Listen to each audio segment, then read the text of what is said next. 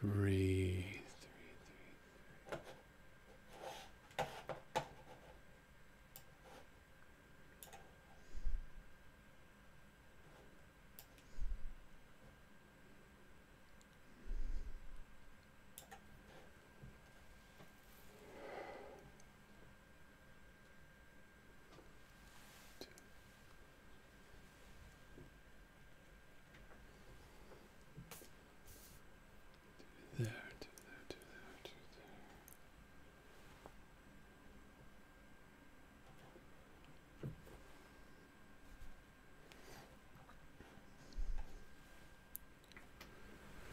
All right, good evening, everyone. It's uh, Thursday. We're back at it again with some chemistry. Um, last Tuesday, we did a lot of stuff on types of chemical reactions. So tonight, the big thing is predicting the products of chemical reactions, which you kind of need to know the types to figure out. So that's the sequence. Um, I've been working a lot on these chemistry guides that I share with you from time to time, and I'll have one for predicting products this evening. Um, so hopefully uh, this is kind of helping me get my thinking together as I build these chemistry guides to share these things with you. So if you have comments, please do let me know. Be a little bit shorter tonight. I've got to run off and do some things, but uh, let's get started here. I do have a demo for you as well. And uh, if you're around, please say hello in the chat. Hello, Loretta. It's good to see you there. Andy, you as well. Good to see folks here this evening. Hopefully, see some new faces as well. Let's jump over and uh, let's do some. Here we go. Let's predict the products of some chemical reactions. So, as a chemistry teacher, I can look at something like this. I can give a student a predicting problem and tell pretty quickly if they understand chemistry because there's a lot of different parts to it. So uh, why don't I do this one um, and then I'll give you a chance to do some of these and we'll see how we do. So if you're given something like this right here, this type of reaction, you want to try to figure out what the products are. You need to know what type of reaction it is. So you have a metal, aluminum, and then oxygen gas but you only have two types of atoms. And because of that, what type of reaction are you thinking? Two things come together, form one thing. So we get some kind of aluminum oxide here. The thing is, you need to know the charge on the aluminum and the oxygen to get the correct number for this. Because you have a metal and a nonmetal, that's going to be ionic. So we need to think about charge. Let me see if I can get my table up here. There it is. So if you remember this table from earlier this semester here, we looked at aluminum and aluminum is right here with gallium, 3 plus. And oxygen right here, 2 minus. Hey, Paige is here. Excellent. And uh, Isabella, very nice. Aluminum dioxide, uh, close, Andy, but you only use the di for covalent compounds. This is a metal and a nonmetal, so it's going to have to be ionic. So let's do this. We're going to use the crisscross method. We're going to take the 3, move it down here, and the 2 here. And that's the formula for aluminum oxide. And the charges work out. They're all balanced. That's the answer. So we predicted it because we had two things come together as one, but then we saw it was ionic. We had to balance that charge out. It's not actually the entire equation is not balanced. Let me see if I can do that real quick. Uh, let's put a 2 here. So that'll get this, be an even number of oxygens. Put a 3 here. 3 times 2 is 6. 2 times 3 is 6. 2 times 2 is 4. That's the balanced equation. So that's the process. When we're predicting the products of a reaction, that's the process that we'll go through. So let's see if we can't give you a chance to do one here. I'm going to get rid of this since we're done. Aluminum oxide. See if you can figure out the type of reaction and then what you'll end up getting. I should probably put this back here for you too. So see if you can predict the type of reaction and then the products. See, we have Bugas here. He retracted his message. I hope it was something nice. And Isabella, you got the oxygen, but aluminum will always be 3 plus.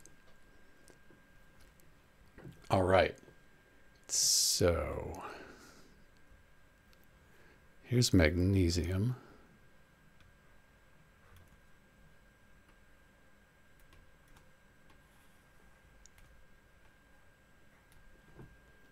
That might give you a hint. So in this case, what we have is a single displacement. We have a metal and an acid. So magnesium, the metal, pushes the hydrogen out and you get H. But you're never going to have H by itself. It'll always be H2, hydrogen gas. So you should see bubbles from this reaction. Mg, that goes with the Cl. But we're not finished. MgCl, is this the correct formula for magnesium chloride? 2 plus, 1 minus? That doesn't work. So we move the 2 down here. 2 times 1 minus, that's 2 minus. That balances out. That's it. So let me clean that up. Get rid of all this stuff here.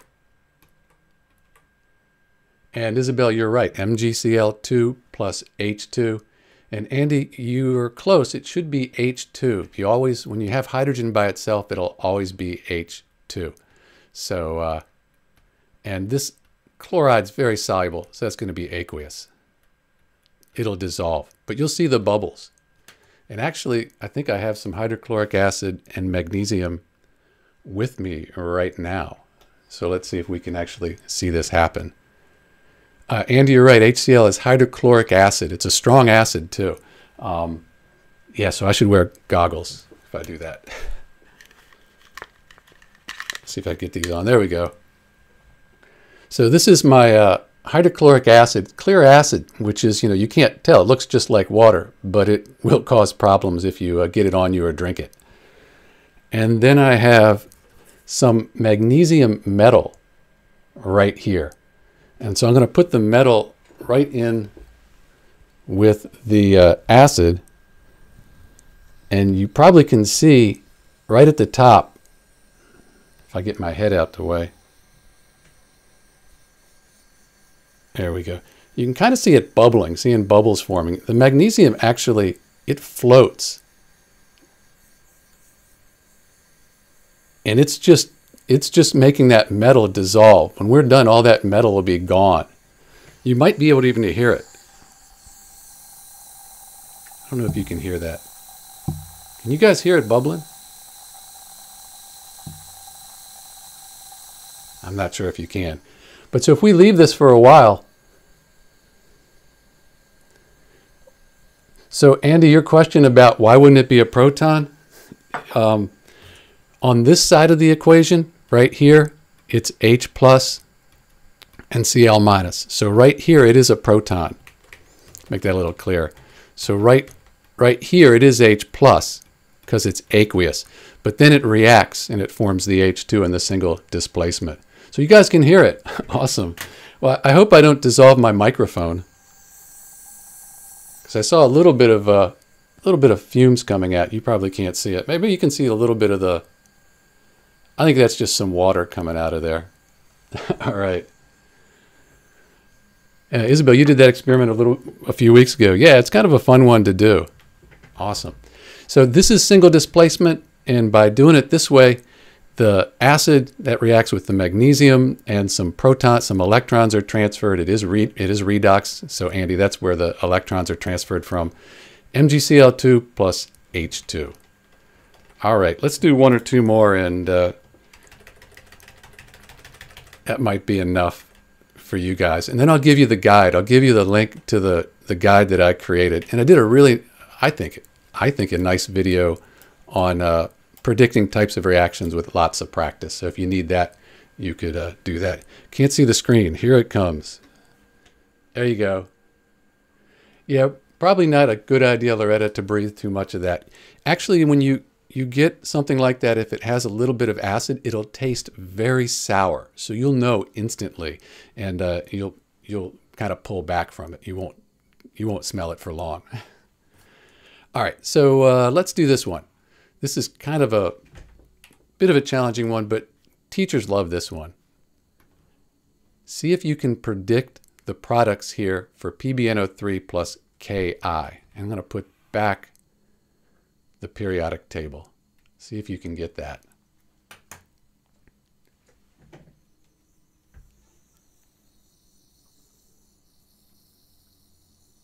Wow. And that piece of magnesium, it's gone. We don't we don't have the magnesium there anymore. It's all dissolved.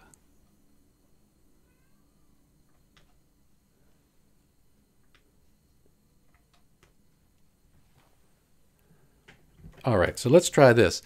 This you hopefully can recognize as a double displacement reaction here.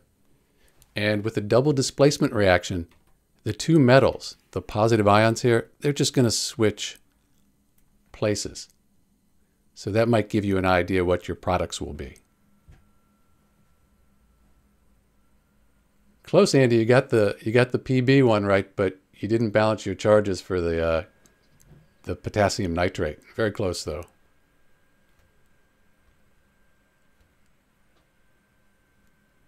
All right, so PB goes with the I, and the K goes with the NO3. So the metal always goes first. So you put the KNO3 first, and potassium 1 plus. And the whole nitrate ion is 1 minus, so you just have to memorize that. So that's why we end up with just KNO3. PB over here, we know this is 1 minus, so this has to be 2 plus.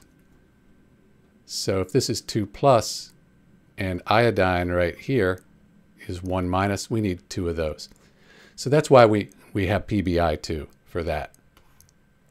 But here's the deal. When you're predicting the products of a double displacement reaction, when you have the metal nonmetals, metal nonmetals, you have to look at solubility to make sure you have to figure out the states. And the only way to do that really is to either know your solubility rules or look at a solubility table. So I know nitrates, these here, they're always going to be soluble. So potassium nitrate's soluble. Lead, though, if you look up lead on the periodic table, or I should say on a solubility table, lead 2 iodide, that's a solid. So what that means is this is your precipitate. So that's how you tell it falls to the bottom of your test tube. So as the magnesium oxidized, it went from Mg and then it was with the ClMg2 plus. So yes, that would be oxidized. Um, oxygen wouldn't really affect it from the air though, in this case. Um, yeah, Isabel, you should write the metal first. So KNO3, and you don't need parentheses around the NO3 because this is 1 plus and this is all minus. So you don't need the parentheses. All right, let's do one more. And uh, yeah, that'll be, uh, where's the other one at? Yeah, let's do one more. So if you can do these, if you're doing these and you're getting these right, you're doing really well. Because I can tell you from teaching um, my students, they can kind of do the separate tasks, but when you give them that predicting the products, that kind of makes their brains break. Uh oh I just lost the, uh, I just lost the last one. Let's put everything back. There it is. See, it's hiding. What a mess. You should have a bit of a mess when you're doing chemistry though, right? Okay. All right. So give this a try. See if you can predict the products of this reaction. It is a double displacement, but it's a special type, so it might trick you.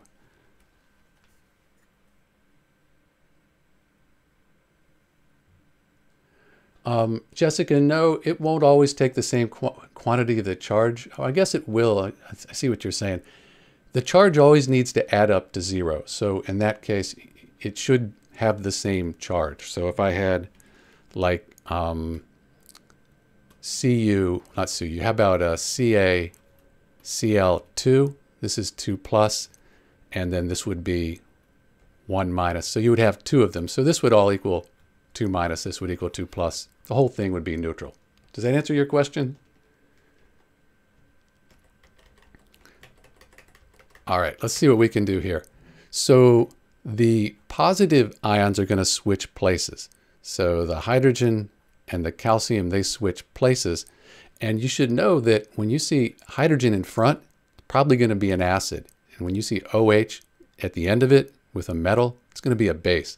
So this is an acid-base neutralization. So we get HOH. You probably recognize HOH, right? That's just two H's and an O, H2O. So Andy, you're right. We get the water there. And the looks like the calcium then will go with the nitrate. So always write the metal first. Let's give ourselves some room here. But again, we need to think about the charge. So calcium is in group 2 with magnesium. So it's 2 plus. Nitrate is 1 minus. So we need two nitrates. Put some parentheses around them, put a 2 out there, and you are done. Um, nitrates are really soluble. So this will be aqueous. Water will be a liquid. And I think you'd need to balance the equation because you have two nitrates here and two over here. But uh, that's it. All right. So uh, I think what I'd like to do, any questions about that? And uh, Nisreen, you, uh, yeah, you got it. Nice job. I think, uh, do I still have my goggles on? I do. All right. Um, and that piece of uh, magnesium about this big, it's gone. It's just dissolved. It's all MgCl2 in the liquid and the hydrogen escaped into the room. If you captured it, you could ignite it. It would be really cool. Would make a nice popping noise. All right, so let me give you the address to the guide that I just created. Um,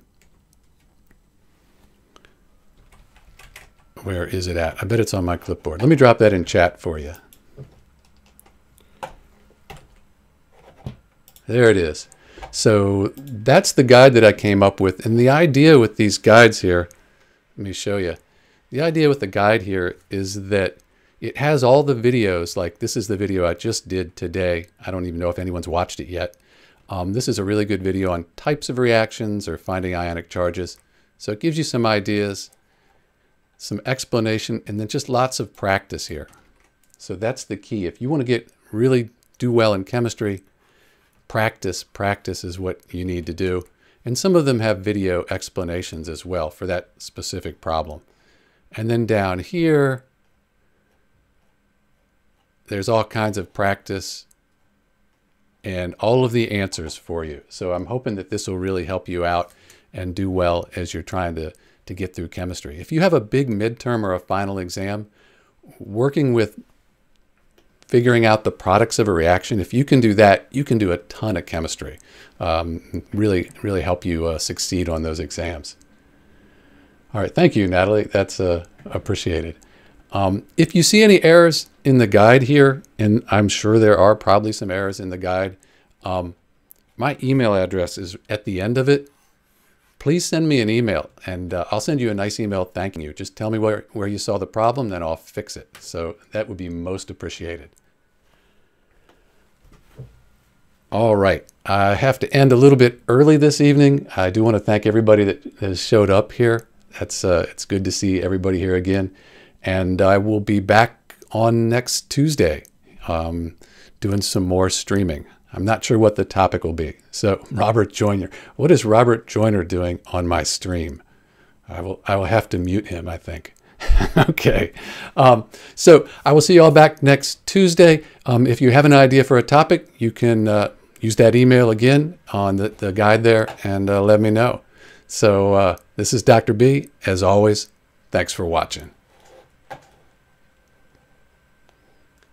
Pete, I'll see you Tuesday. I see you just got there, but I'm about to hit the end stream button. Tuesday at 8.30 Eastern Standard Time.